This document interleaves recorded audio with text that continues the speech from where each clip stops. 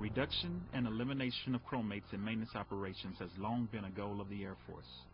In the U.S. Air Force, the primary means to protect exterior aircraft surfaces is through a combination of chromate conversion coatings, epoxy primer, and polyurethane top coats. Chromate conversion coatings, commonly referred to as Alodine, prepare the aluminum surface of the aircraft for the application of primer and paint and provide a corrosion-resistant barrier. The primer ensures adequate top coat adhesion and also contains chromates that provide additional corrosion protection. For the past year, OC ALC has been proactively taking the initiative in evaluating alternatives to reduce hexavalent chromium. One alternative considered is a non-chromium surface preparation process called PreKote. Through initial analysis, PreKote is expected to provide threefold benefits. One, better aircraft protection.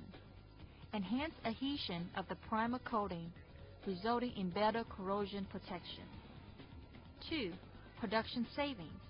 Potential reduction in time and cost due to less materials utilized and simpler processing steps in depot. Potential decrease in touch-up work required in the field due to better adhesion. Finally, environmental savings.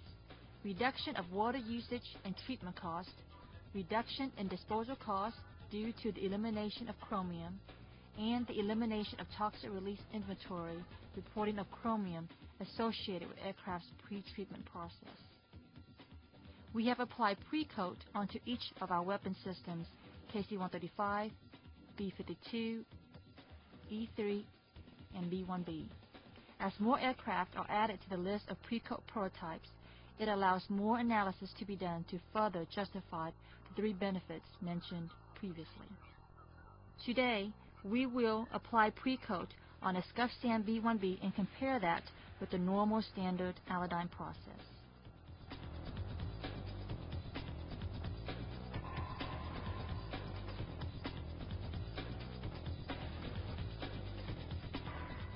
Well, we're looking at PreKote to uh, apply to our wing leading edges. We've had problems with uh, paint adhesion in those areas. Uh, some of our deployed aircraft uh, out in the desert, after two or three flights, have seen degradation of the coating on the leading edges. So we're going to apply a PreKote application to this aircraft after it's been scuff sanded. After it's scuff sanded, you have your dust from your paint that's been sanded off. Also, oxide has built up on that coating. So the PreKote will remove all that. Will remove any residue of hydraulic fluid and fuel so that we get a good bonding surface, and it will prep the pores of the aluminum substrate at a molecular level by filling in those voids, giving more surface area for the primer and top coat to adhere. So it should get better paint adhesion. So those are three aspects that we're looking at for the PreKote application, is to give us better paint adhesion for the coating that we're going to apply. Uh, B-1s have been around since 1985, and we've had three or four layers of coatings applied. Uh, some of those lower layers of coatings are becoming disbonded and are not adhering as well as a new layer of coat. So we're hoping that after we scuff sand, get all the bad coating off there, and apply the PreKote, that we're going to get a good bond of the new coats that we put on there. The Alodine that we apply right before we paint uh, has chromates in there, so we're looking at a reduction in chromates.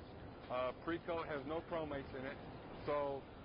The chromate that is in the primer will provide adequate corrosion protection and while eliminating some of the waste stream problems that we have with Alodine. We're looking at that also. Uh, also, the B-1's had problems with uh, leaking hydraulic fluid and fuels like that. Um, PreKote does an adequate job of cleaning those fluids off, giving a good surface bond, and uh, hopefully the top coat and primer that we apply is going to have good adhesion. Approximately 85 aircraft come through Tinker annually for a paint job. Using the PreKote process that has been prototyped at Tinker, we'll reduce the amount of water required, equating to a theoretical annual savings of $113,000 in water purchasing, treatment, and disposal costs.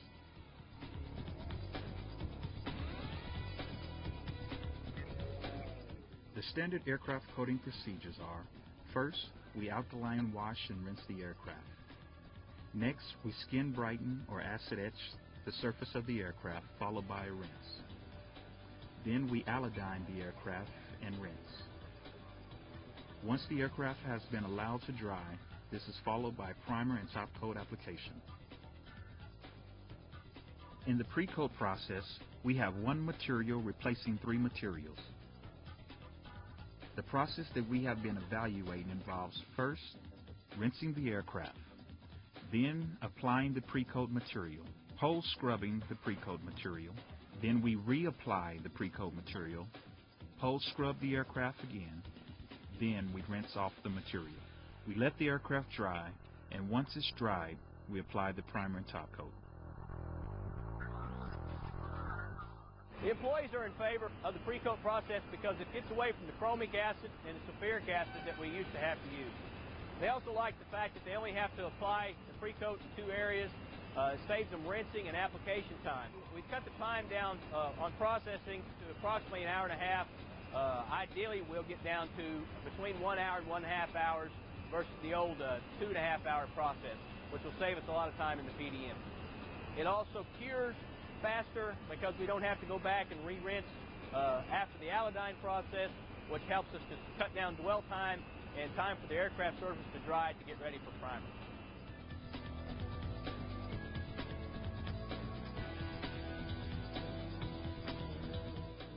Using the uh, non-chromated uh, pre-treatment system, uh, or the PreKote, we've uh, changed the traditional way that we've started the uh, process.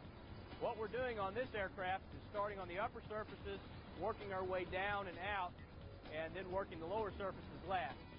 This prevents the PreKote from drying on the surface of the aircraft or causing us to have to go back and reapply PreKote to areas that we previously worked. We work smaller areas, and, but when we're finished with the area, we don't have to go back. With the old process, we had to go back over the area three different times with three different chemicals. It caused us more time. The PreKote process has saved us approximately one hour in production time because we don't have to use three chemicals.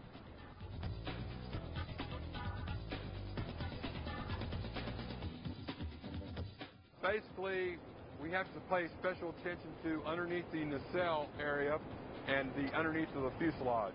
Uh, we have a lot of hydraulic and fluid leaks of fuel on the B-1. Those basically are contained on the bottom surfaces of, of the fuselage and the nacelle. So we have to pay special attention, make sure that we properly apply the PreKote adequately, scrub and clean so that all those materials are removed. After the PreKote process is performed and the surfaces have dried ready for primer and top coat, we may have to go back with a uh, wet rag uh, uh, with PreKote, wipe those areas off, allow them to dry, and then apply the primer. Because we're going to make sure that all those hydraulic and fuels are uh, removed before we do primer and paint.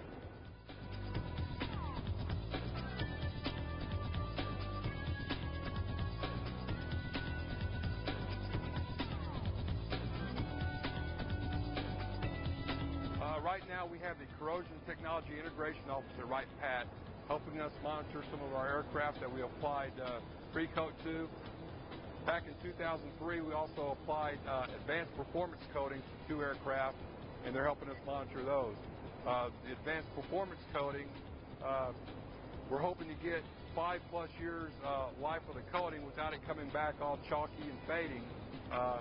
Better paint adhesion, weather resistance, we're looking at that from the aspect of hopefully when the aircraft comes back in five years to PDM that we may have to do minimal paint touch-up maintenance to it. Also, they're helping us monitor the PreKote aircraft, and uh, we're hoping that those aircraft, the paint will adhere better. So in a combination with the PreKote and advanced performance coatings, we're hoping to potentially get 10-year service life. So every five years, when the aircraft comes back after it's been pre-coated and uh, advanced performance coatings applied, potentially we won't have to do any paint work on our second PDM cycle. So that's one thing that we're looking at. Uh, could be a huge impact to the B1 as far as cost savings. Chromium has been identified as a hazardous material of concern and is targeted for elimination or reduction.